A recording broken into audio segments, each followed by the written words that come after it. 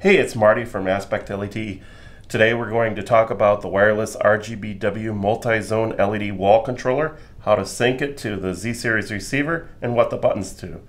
If you think this video is helpful, please like and subscribe. The first thing we want to do is clear out the memory on the Z-Series receiver. And to do that, you press and hold the learning key until the strip lights flash.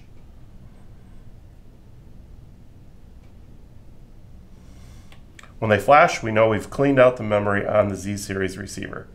Okay, on the remote, or the wall controller, first of all, you want to make sure that it's on. When you press this power button right here, this red light will turn blue. Blue means it's on, red means it's off. So we're going to start with it on. First thing we have to do is pair the wall controller to the receiver. And to do that, we're going to assign the receiver zone 1. So we press zone 1, the learn button, and the color wheel.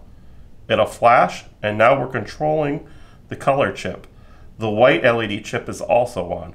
If you'd like to turn that off to see what you're doing easier, press this button twice.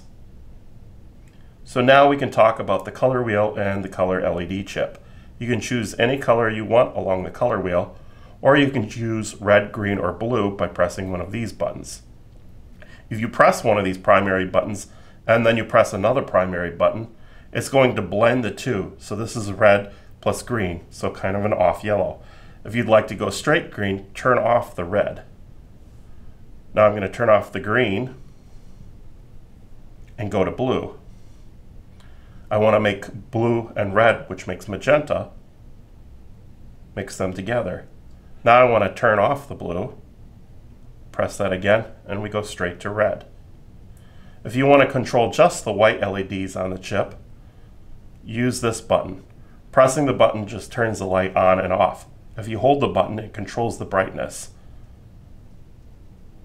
Brought it all the way down to the lowest setting, and bring it back up to the brightest setting, and turn it off. Now I'm going to talk about controlling the color brightness. You can control it with the sun button.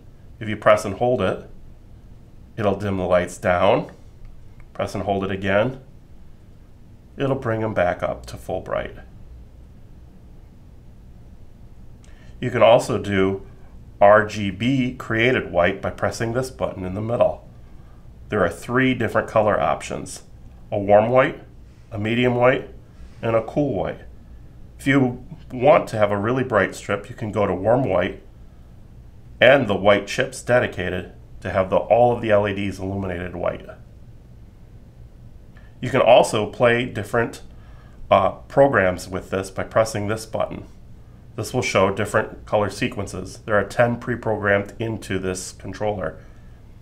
To advance from one to the next, you press this button twice. If you press the button once, it will pause in whatever color it is on. There are lots of options. Finally, as we began, there are three zone buttons. So if you had more than one Z-Series receiver and wanted to control different zones, you could program zone 2 to another receiver and zone 3 to another receiver. If you find this video helpful, please like and subscribe.